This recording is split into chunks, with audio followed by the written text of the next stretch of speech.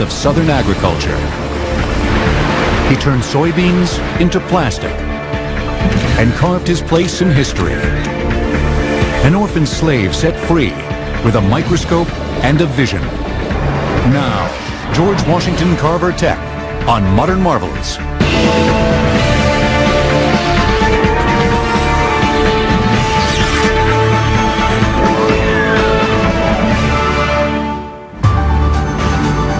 What do biodiesel fuel and peanut butter have in common? How are crayons and space travel connected? What are soybeans doing in our automobiles? These marvels can all be traced back to the inventive mind of a man who was born a slave, but emerged a master of scientific discovery. He was able to just look around him and see the raw materials and then see the human need that was out there and bring the two together. And so my own personal view of Carver is that he was a master integrator. Carver had the most remarkable heart. And that's the thing I think I love the most about his life. I mean, as tremendous of a scientist as he was, um, he, coming out with so many useful products that even today, I don't even know what we would do without. Um, his heart was the best. Dr. George Washington Carver is well known throughout the world for his revolutionary research, particularly with the peanut. In the early 1900s, he discovered and developed more than 300 new uses for the legume in food products and industrial applications, from face cream to a cure for dandruff, from linoleum flooring to motor oil. Carver saw infinite possibilities in the peanut plant. He literally inspired other researchers all across this country to take a deeper look at this plant. And of course, I believe that that the end of the line has not been reached on what he uncovered. But Carver's legacy goes far beyond his accomplishments with what was called at the time the lowly goober. He toiled for more than 40 years in his laboratory at Tuskegee Institute in Alabama and is credited with countless breakthroughs in agricultural research. The impact of that was just astonishing. Carver, through the kind of research he did, was able to really lead the revitalization, really, of a whole region, the southern region. He really is one of the great American heroes. If there's anyone you're going to learn about, you should learn about, you know, Carver would be one of those people. George Carver was born into slavery in 1864 in Diamond Grove, Missouri. He was the property of Moses Carver. Towards the end of the Civil War, Southern bushwhackers raided the Carver's farm and kidnapped baby George and his mother. Moses Carver hired a Union scout named John Bentley to trace after them and try to recover his property. Bentley was able to find baby George and the mother Mary was never seen again. We do not know what happened. George was near death when he was found. Moses and his wife took care of him like he was their own child. Too frail to work in the fields, he helped out with the household chores. It was on this farm that he had spare time to go out and wander in the woods and enjoy nature and become very close to nature. He would look at a briar, he would look at the soil, he would look at the different leaf patterns and question and question and wonder and ask why. Why are things like this? George was inspired to paint after visiting a neighbor's home and seeing works of art for the first time. So he came back, created his own brushes with twigs, and he would take nature's berries and grasses and create colors, an array of colors, and begin to paint. Young George Carver's inventiveness and hunger for learning compelled him to seek what was impossible for many African Americans of his day. A formal education. Around the age of 11, he left the Carver farm and walked 10 miles to Neosho, Missouri determined to attend classes at the Lincoln School for Negro Children.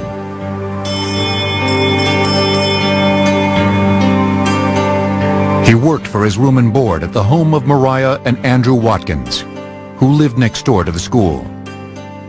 The story is that at lunch hour, he would jump the fence between the school and Aunt Mariah's house and go over and help her with her laundry. Many years later, George was inspired to draw this picture of the school and the Watkins house. George studied hard and got his high school diploma. He applied to Highland College in Kansas and was accepted. It was a big moment. Then he went to Highland and he showed up and they said, we didn't know you were black. And they turned him away. It was a huge disappointment. George didn't give up. In his mid-20s, he applied to Simpson College in Iowa, where blacks were allowed. He was accepted and began taking classes in painting. His first love was art, and he had a teacher, his name was Etta Budd. She was very dubious about whether a black could make it in art. It was a near impossibility. And she was a little concerned about him being, he was, he was not the first black at Simpson, but he was the only one at the time.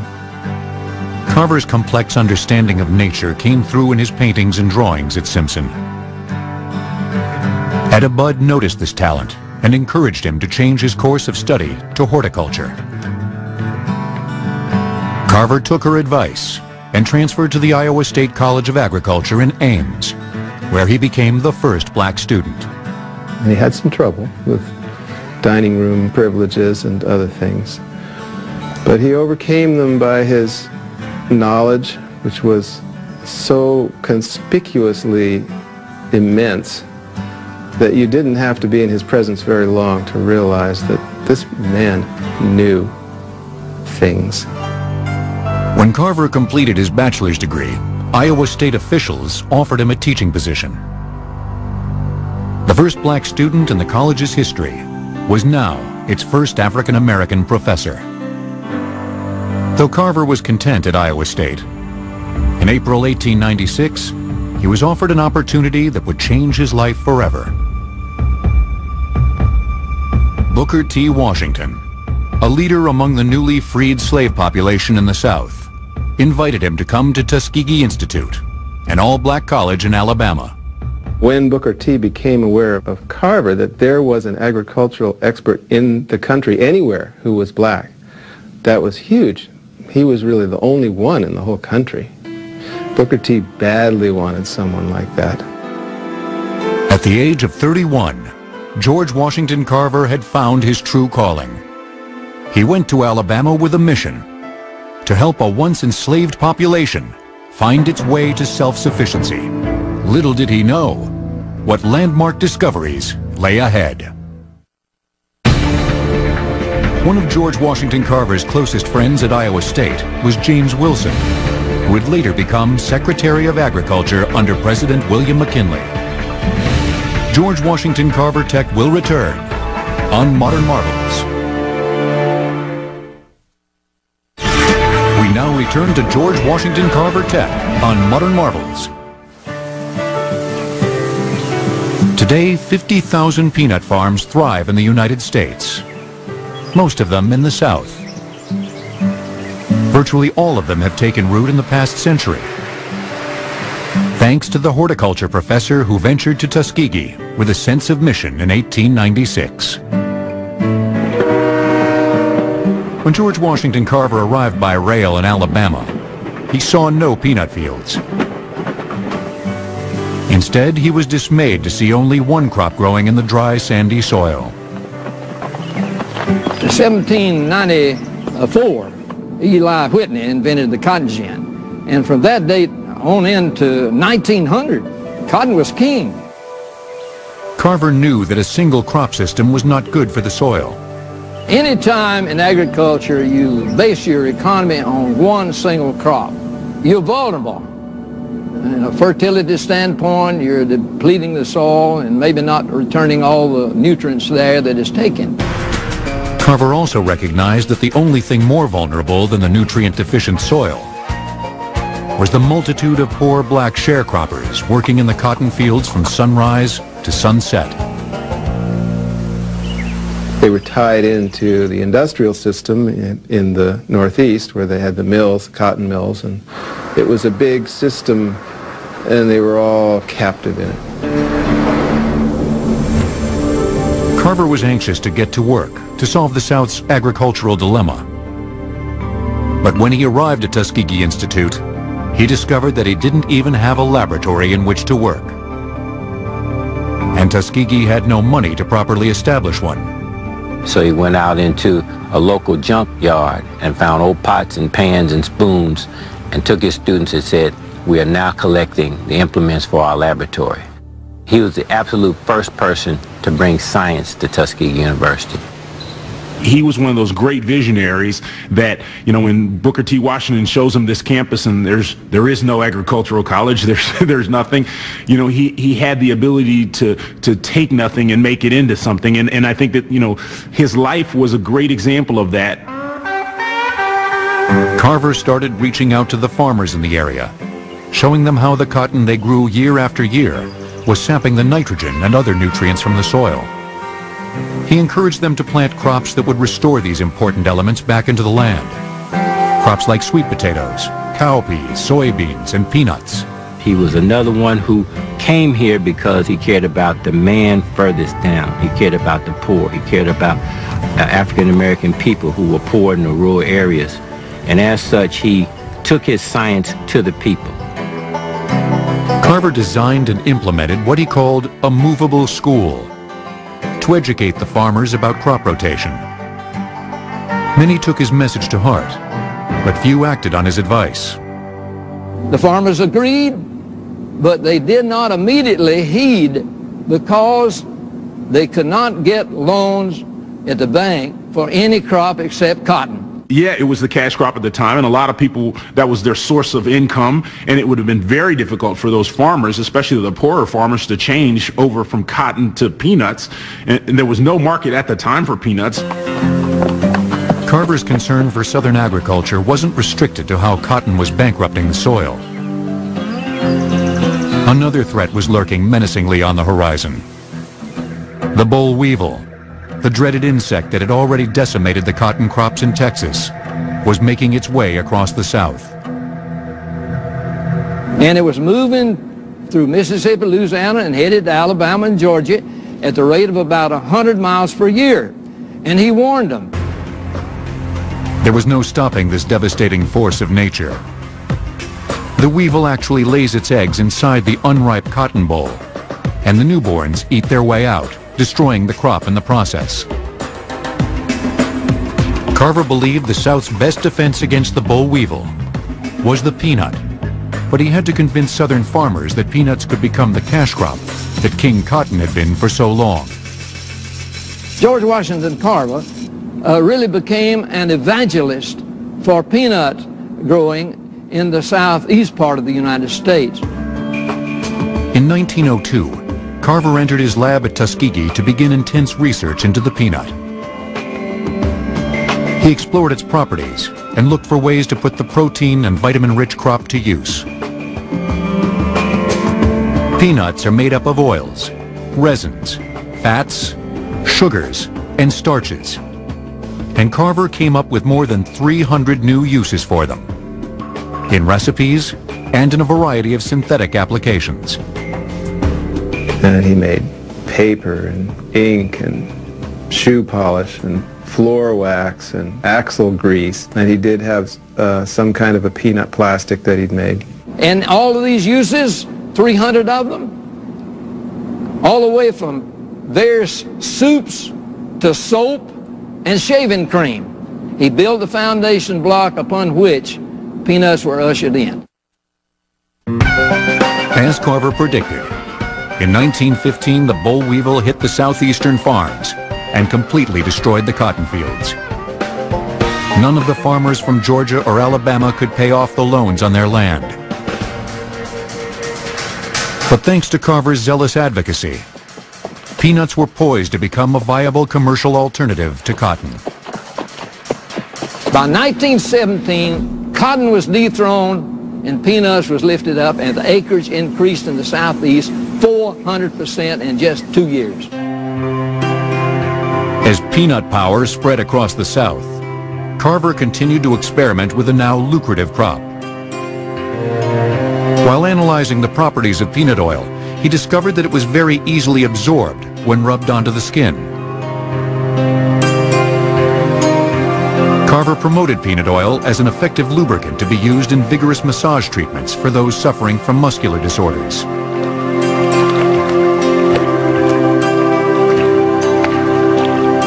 Thousands of patients, including those crippled by polio, came to Tuskegee to receive peanut oil massages. Even more wrote to Carver to purchase the oil. While it was never considered a cure for any disease, those who underwent the treatment reported encouraging results. Word of Carver's promising work made it all the way to the White House. One of the extractions that he did with the peanut, uh, one of our presidents, Roosevelt, used it for his infantile paralysis. In 1942, President Franklin Delano Roosevelt paid an official visit to Tuskegee. He greeted Carver in person and applauded the research being done on the Alabama campus. I'm proud to come to Tuskegee because I'm proud of what Tuskegee has done. While Carver has been called the father of the peanut industry, there is one product that many mistakenly attribute to him. Peanut butter. Peanut butter as we know it in America was basically invented in 1890 by a physician in Missouri.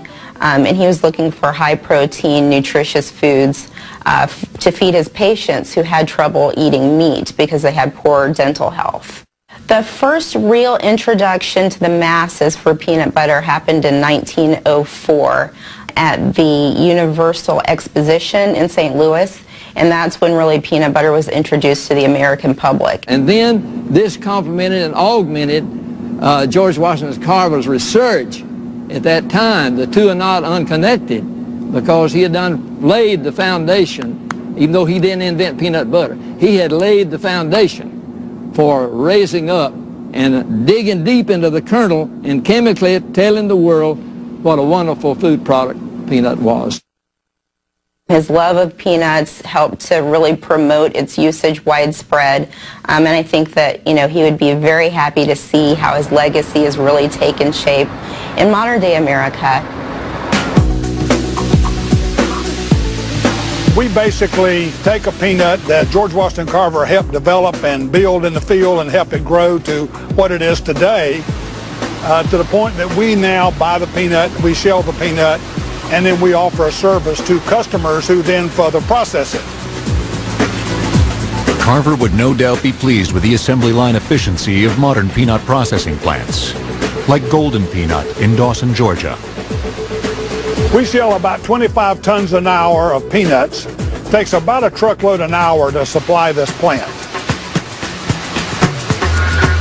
The peanuts that make the grade are bagged and sent to manufacturers.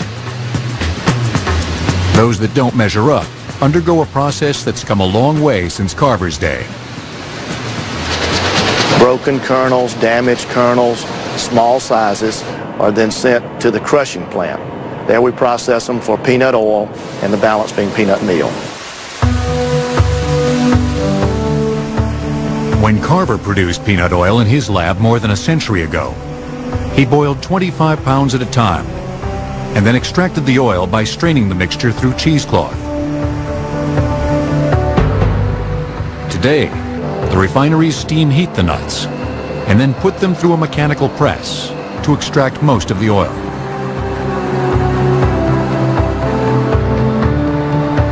At Golden Peanut, they press 350 tons of peanuts each day. George Washington Carver's work with the peanut in the early 1900s became the foundation for a new science known as chemurgy, the process of discovering industrial uses for agricultural products. Using peanuts, sweet potatoes, soybeans, and other crops, he literally planted the seed for technological innovations that would change the course of farming in the United States.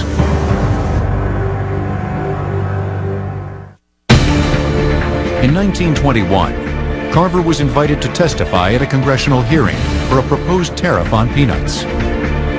He was allotted 10 minutes, but congressmen were so impressed by Carver's testimony that he was allowed to speak for over an hour and a half. George Washington Carver Tech will return on Modern Marvels.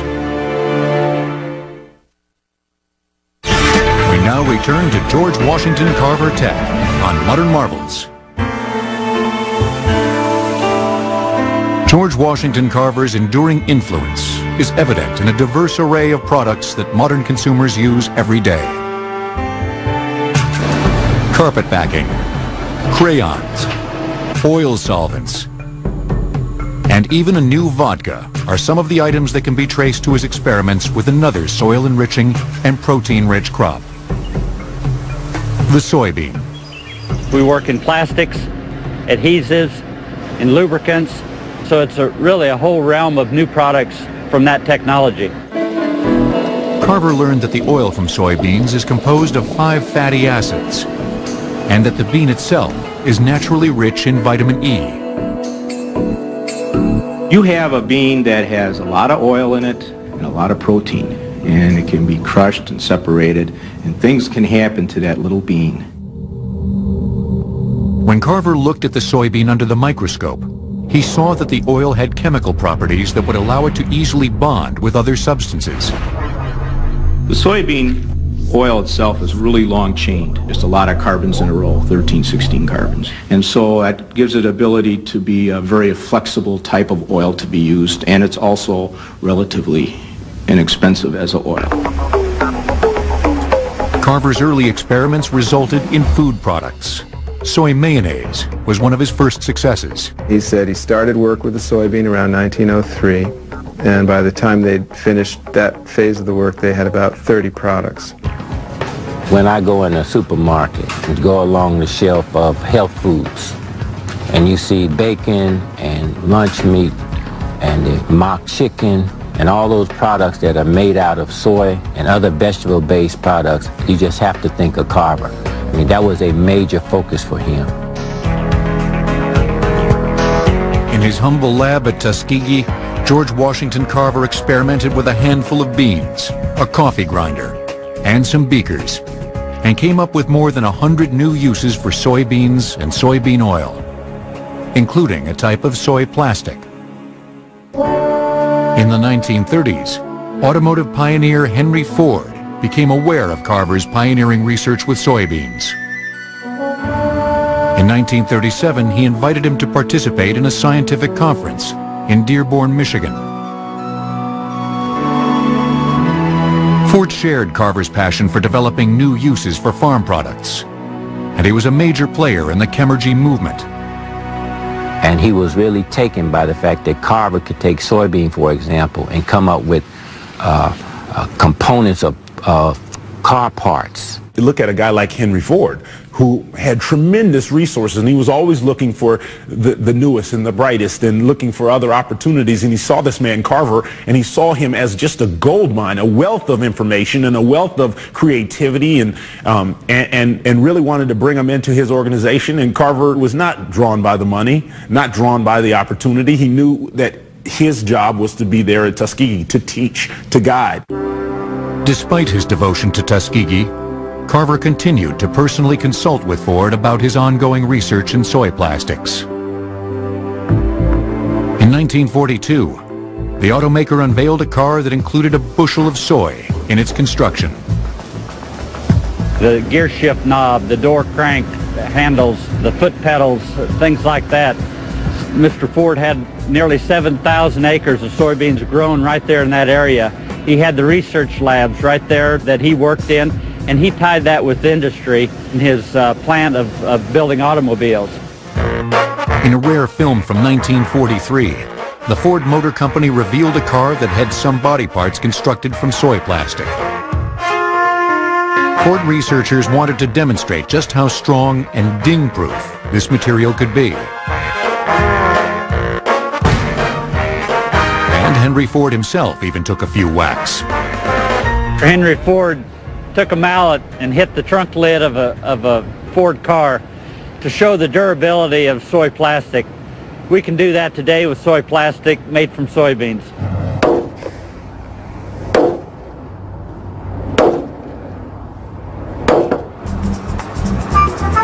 Carver and Ford's creative partnership is echoed in what the Ford Motor Company calls the U-Car.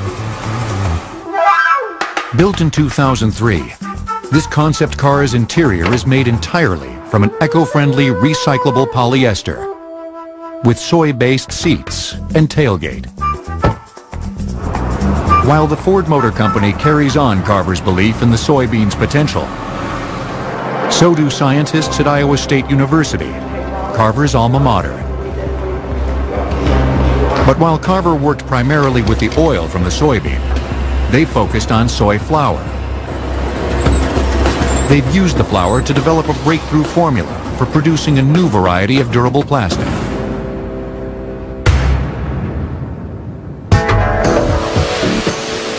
Soybean farmers around the country are well aware of Carver's early research and the potential of using soybeans in commercial products.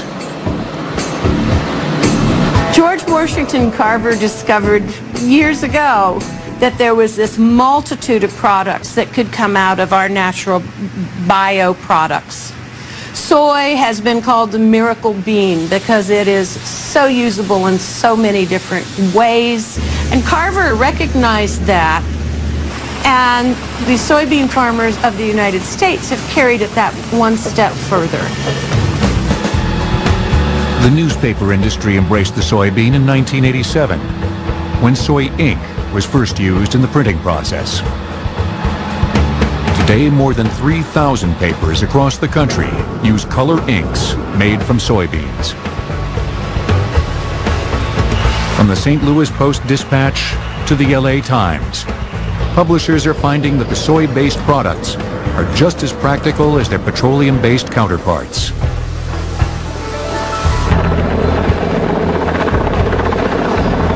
Construction engineers are discovering the soybean's value as well. A recent example of their work is the new roof atop the Shedd Aquarium in Chicago. It's non-toxic, it's 100% waterproof. The application of it is very simple, very easy to do, and it will save us energy by reducing our heating and cooling costs in the building. In the 1940s, the soybean's greatest champion had gained world renown as a scientific pioneer. But George Washington Carver remained a simple man.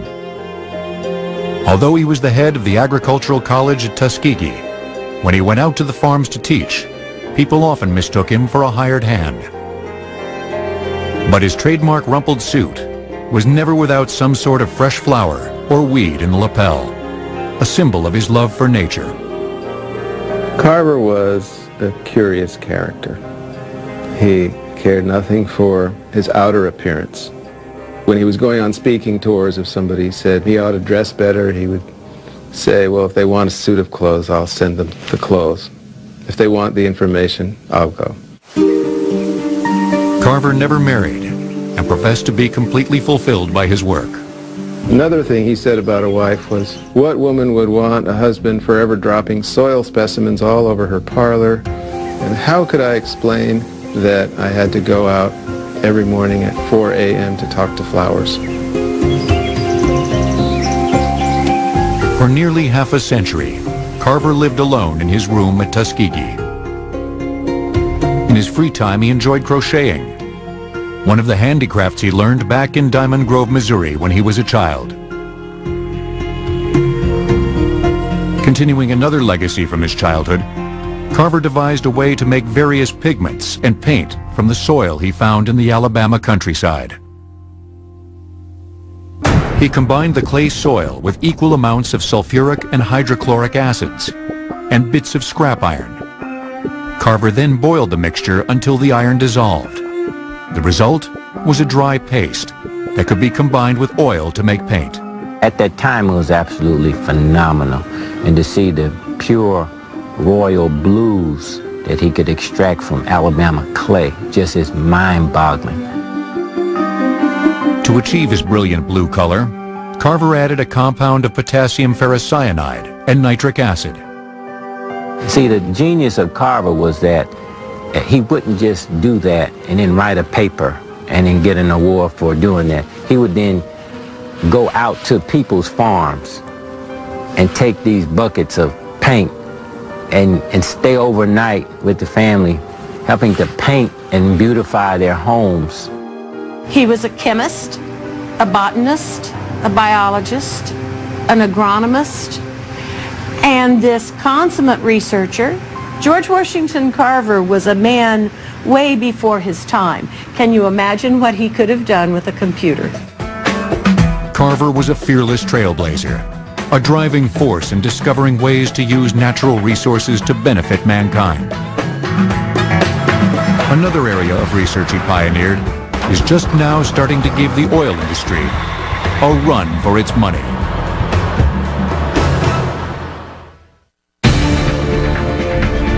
Inventor Thomas Edison once offered Carver a six-figure annual salary to work for him. Carver declined and stayed at Tuskegee Institute, where he earned $1,500 per year. George Washington Carver Tech will return on Modern Marvels.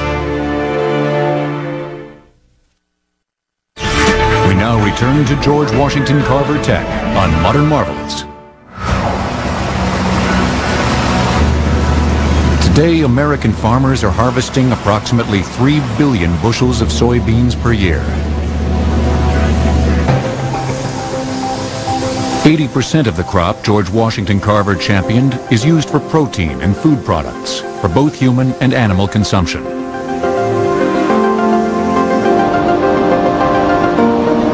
The other 20% is used to produce soy oil, which, as Carver demonstrated, can be used for a variety of purposes. One of the fastest growing applications for the oil is in biodiesel technology. Biodiesel is a diesel fuel replacement that's made from uh, any vegetable oil or animal fat. Uh, and the way that it's made is you take a, a vegetable oil and you re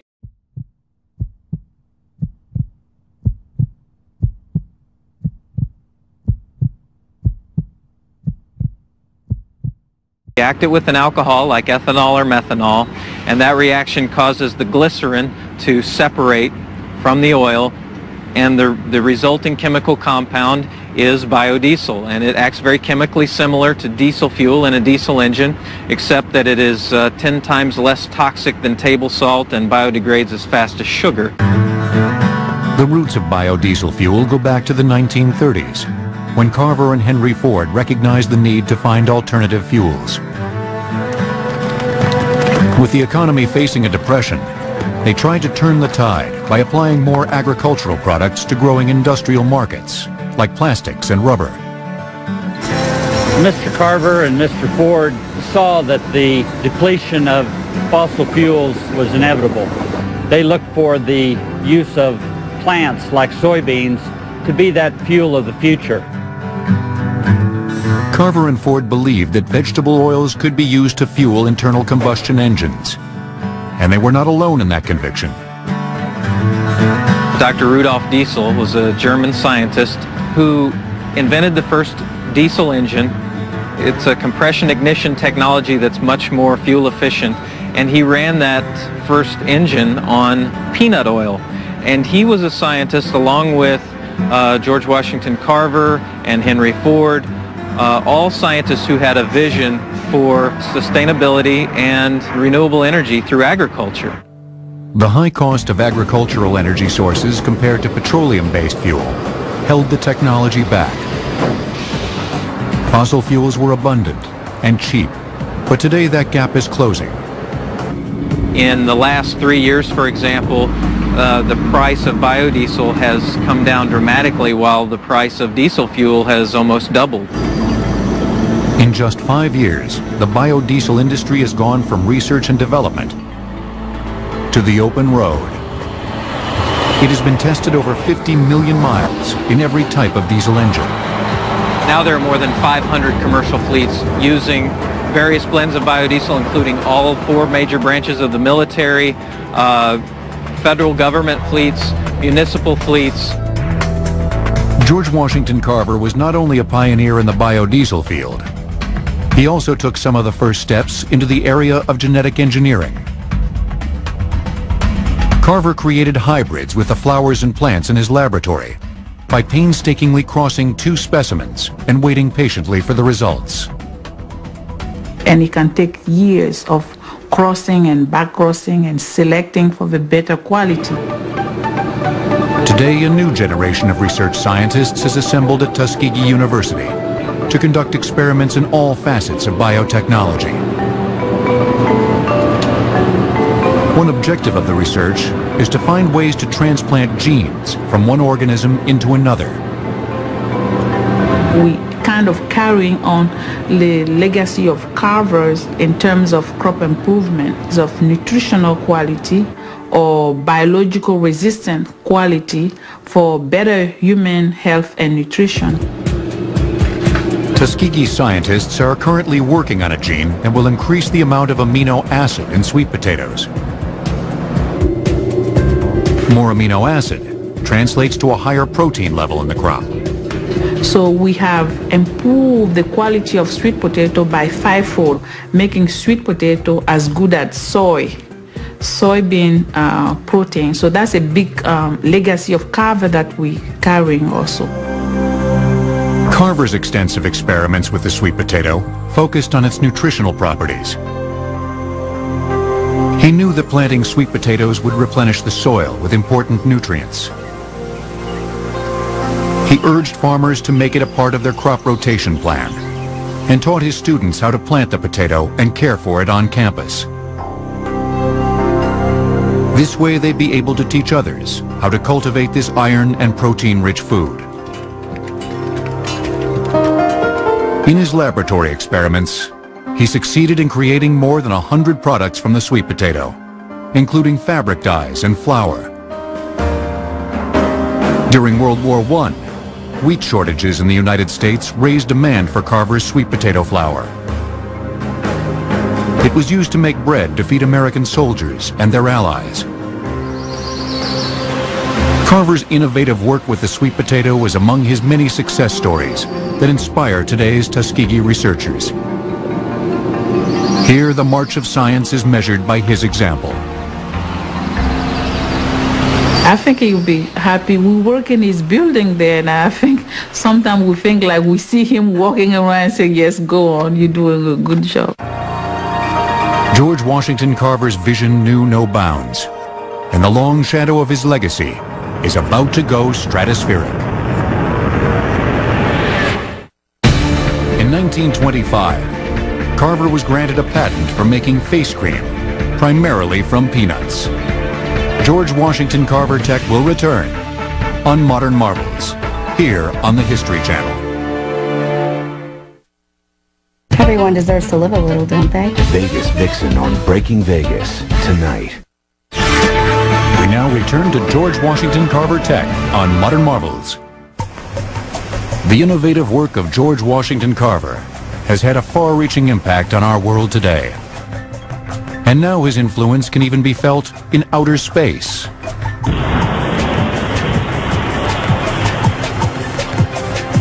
For the past 18 years, NASA engineers have been working with Tuskegee University scientists to find efficient ways to grow food in space.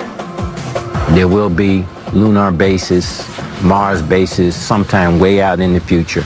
And even for long-term space flights, people have to eat. For humans and long-term space missions, it's, it's costing approximately about $10,000 per pound to lift a pound of payload. And if you're going to space, it is be very um, expensive to take soil with you since you want to grow plants. Today, when the space station food supply is low, a new shipment is sent via an unmanned spacecraft. If the craft misses its mark, serious problems can occur. The hungry crew could be forced to return to Earth. Or worse, a multi-million dollar mission would have to be aborted. So plans are underway to grow enough food for the space station to be self-sufficient.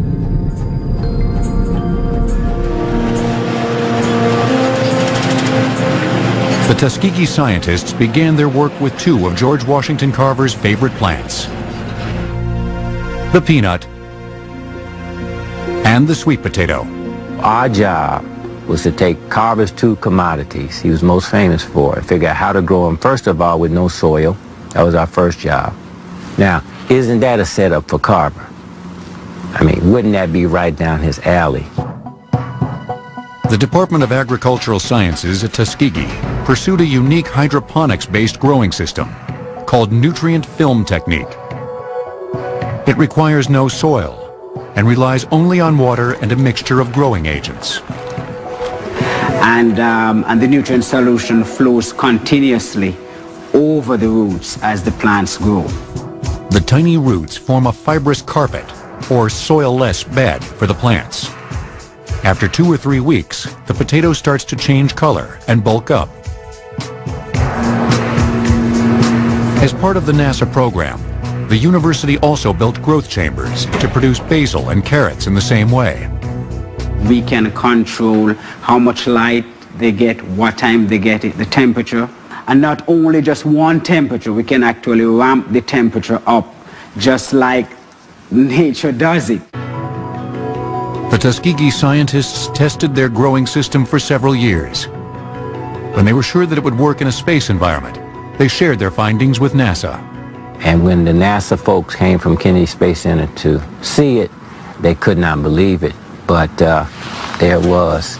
So that's why I'm saying it took some really, I would say Carverites are brilliant young faculty and students who just stayed at it. Today, a new crop of carvers in training is sprouting up in San Antonio, Texas. And if it would have had real shallow roots way up here and that's it, do you think it'd be able to tap way down and get some water? The Carver Academy is dedicated to keeping the spirit of George Washington Carver fresh in the minds of today's youth. The school was founded by former NBA superstar David Robinson. It started more because of, I grew up um, kind of with a teacher's heart and always wanted to teach, always loved teaching. And, uh, and you know, since I became a basketball player, teaching was pretty much out of the question. But, but I've always loved inspiring and, and, um, and stirring the heart. The school emphasizes the same hands-on learning techniques that Carver practiced in his career. And the teachers also try to instill in the children a curiosity about the world around them. They made like heads and like those lights that they use. You know, nature speaks to us every hour if you would just listen. We're so tech oriented. We, we, know everybody wants to play with the latest gadgets and see what, you know, science is coming up with. Well, the most incredible things we have are right there in nature. They're right in front of our faces. They're the plants that grow right in front of us. And, and the kids have access to mo the most remarkable resources every single day. It's overflowing. The Carver Academy is perhaps the best tribute to the scientist who was constantly honored during his lifetime. He accepted every award with his signature humility. I am not sure that I am worthy of this splendid citation, but uh, I wish to say also that I thank you from the depths of my heart. He just refused to give himself credit for any of this. He gives the credit to God. On January 5, 1943, at the age of 78, Carver died of natural causes in his room at Tuskegee Institute. Six months later, President Franklin Roosevelt established the George Washington Carver National Monument in Diamond, Missouri. It includes the 210-acre farm Carver explored as an orphaned slave child. Yes, he was born into slavery, and yes, he had great obstacles to overcome. But every obstacle that he overcame led him one step closer to becoming the great man that he was. He just made those steps. He just kept walking, and he walked right into history and right into our lives every day. George Washington Carver's work has been impacting and enhancing our culture for more than a century. For the next generation, determined to further his legacy, the challenge is daunting. We are standing on the shoulders of giants, and, and Carver is one of those giants before us, you know, and, and, and we are to we don't have to reinvent the wheel. What we do is we stand on what that foundation that's already been laid is, and, and, and that's a great foundation. Carver's built some blocks for us, but you know, we have to continue and take that tradition further.